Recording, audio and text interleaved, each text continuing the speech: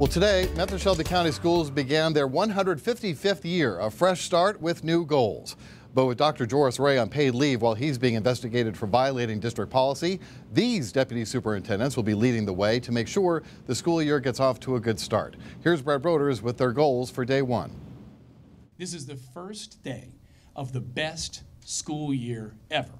A new year brings new optimism for Memphis Shelby County Schools leadership as the district looks to carry over and expand on some state test score improvements made last year. We've always been a very tight team behind the scenes, meaning that we're always talking about the next man up. Deputy Superintendents Dr. Angela Whitelaw and Dr. John Barker laid out their academic expectations Monday morning while they crisscrossed the district. That included leading a tour of Germantown High School with Tennessee Education Commissioner Dr. Penny Schwinn. We've added some extra responsibilities. I think the beginning of the year is always a pressing time for us because we want to make things right for students and families. The district's co-leader said by the year 2030, they want to get 70% of MSCS students performing math at grade level and 74% reading at grade level. We believe that literacy is the backbone for our district. It is the jumping off to all of our subjects.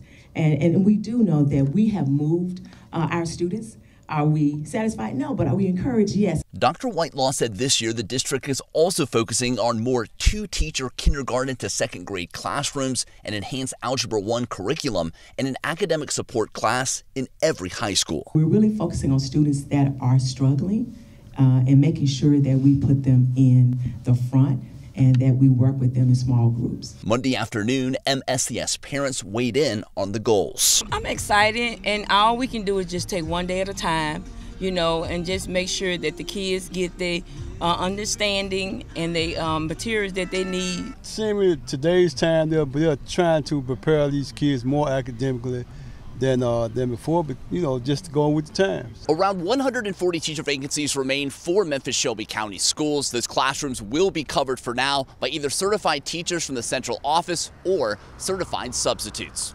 In East Memphis, I'm Brad Broders.